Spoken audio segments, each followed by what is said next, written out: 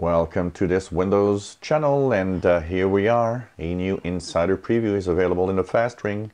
We have Windows 10 Insider Preview build 17686, not 1003 as we see here. Available for the fast ring was released about uh, five or six minutes ago. And of course, we are installing it right now as you see. I will be taking a look at what's new, what's not, what's good and bad of this build later today as we will try it out.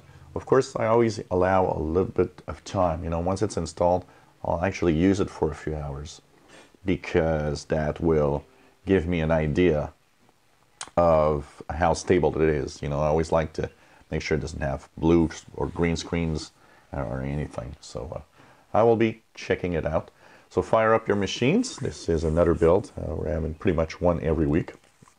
And yes, uh, somebody asked me today, you know, uh, what's happening with the slow ring? We don't have anything.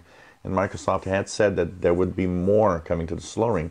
Um, you know what? It is true that Microsoft was uh, supposed to have more slow ring builds, which is kind of interesting because since then we didn't have any news about it.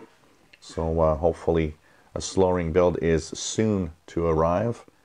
And uh, for now, well, we'll be uh, checking that out. So uh, fire up your machines, 17686, available for the fast ring, and my review later today. If you enjoy my videos, please subscribe, give us thumbs up. Thank you for watching.